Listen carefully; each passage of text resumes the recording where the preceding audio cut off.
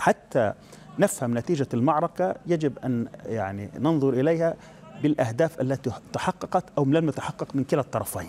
نعم. وقتها تستطيع أن تعطي يعني حكما. وبما أن هناك سيناريوهات متعددة هناك خمس سيناريوهات. يعني سيناريو أن ينتصر طرف على طرف بالضربة القاضية أو بالنقاط.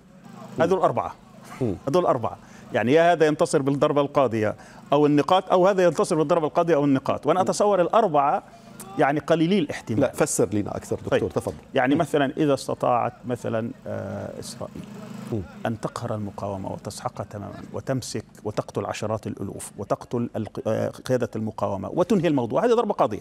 نعم. أنهت المقاومة وسحقتها. طبعا هذا له تبعات أخرى بما فيه الشمال. يعني الشمال قال أنا لن أتدخل تدخلا مباشرا إلا إذا كان هذا السيناريو قائم. تقصد حزب الله. حزب الله نعم م. بالضبط. هذا هذا ضربة قاضية هذا سيناريو. السيناريو الآخر أن يضرب الجيش الإسرائيلي يموت فيه عشرة الآلاف وتعطب كله وينسحب. هذا أيضا يعني ضربة قاضية للمقاومة. قاضي و... يعني لا هذا أنا أتصور أنه محتمل كثير ولا هذا محتمل كثير ولكن السيناريوهين الأمر الآخر هي الضربة هي ال ال ال الهزيمة أو الغلبة أو الانتصار بالنقاط. م. أنك أنت يعني تبدأ تحاصر و و وتستنزف وتحاصر وتستنزف حتى طرف من الأطراف ينصاع للأهد... لبعض الأهداف ويتنازل عن أهدافه.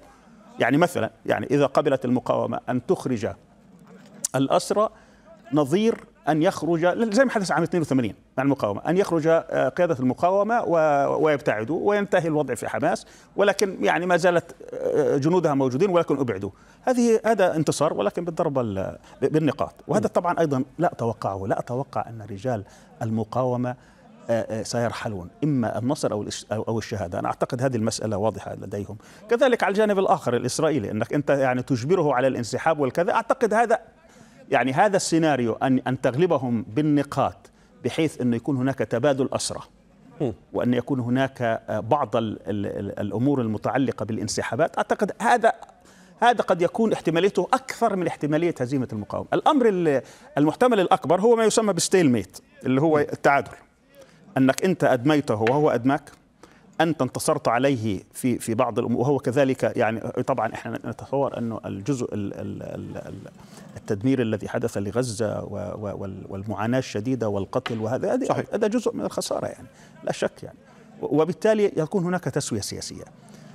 الذي لا نريده أن يكون ما لم ما لم يأخذوه عسكريا يأخذوه سياسيا. وهذه مسألة أيضا قائمة لأن هناك ضغوط شديدة من كل الأنظمة القائمة هنا حتى بما الأنظمة الصديقة.